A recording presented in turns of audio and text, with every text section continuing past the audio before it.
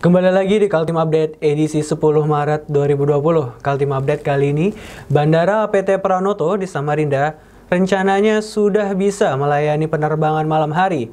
Setelah lampu-lampu sepanjang runway terpasang, Dinas Penerbangan dan Komisi 3 DPRD Kaltim optimis bulan April sudah ada pelayanan terbang malam. Simak informasinya. Kabar gembira bagi warga Samarinda dan sekitarnya, Bandara PT Pranoto rencananya sudah bisa melayani penerbangan malam hari pada bulan April 2020. Persiapan terus dikerjakan menggunakan anggaran pemerintah pusat APBN. Lampu-lampu di atas runway sepanjang 2.250 meter sudah mulai dipasang. Untuk yang penerbangan malam, eh, pemasangan lampu runway sudah sampai dengan akhir Desember kemarin dan ini kita uh, mengupayakan untuk apa namanya kalibrasi jadi lampu uh, pendaratan visual dan lampu landasan sehingga nanti setelah dikalibrasi uh, segera akan kita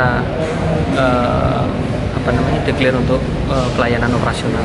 Di kondisi seperti ini apakah kemarin ini akan selesai dan pada April nanti akan membuka atau menerima penerbangan malam ya? Yang jelas bahwa bandara kita saat ini uh, sesuai dengan declare layanan kita jam 7 pagi sampai jam 6 sore. Uh, dengan adanya lampu tentunya kami akan mempertimbangkan untuk bisa memberikan pelayanan extend ya sampai malam. Seperti itu. Kepastian bakal adanya layanan penerbangan malam hari dan ke Bandara APT Pranoto dibahas dalam rapat dengar pendapat Komisi 2 DPRD Kaltim dengan Dinas Perhubungan Kaltim di Komplek DPRD Karangpaci. Dinas Perhubungan mengakui ada review atas master plan Bandara APT Pranoto karena menyesuaikan dengan kebutuhan sebagai kota penyanggah ibu kota negara.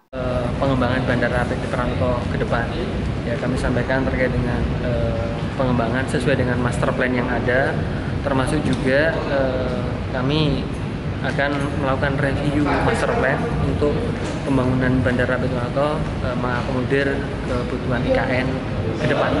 Ketua Komisi 3 DPRD Kaltim Hasanuddin Masud menyambut baik dilakukannya peningkatan pelayanan penerbangan dia optimis adanya penerbangan malam akan berdampak positif bagi kelancaran dunia usaha.